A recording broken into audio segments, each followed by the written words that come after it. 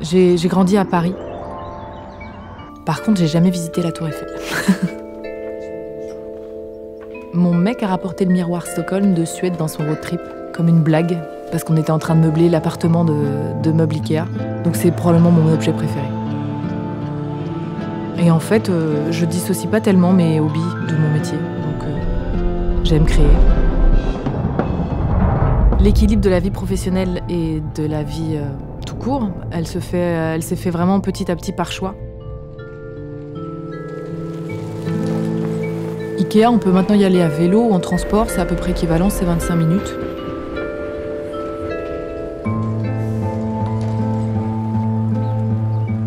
C'est pratique parce que tu peux aller chercher les petits éléments comme les draps, les serviettes et tout, et puis le reste, c'est comme un showroom, tu l'essayes et tu le fais livrer chez toi.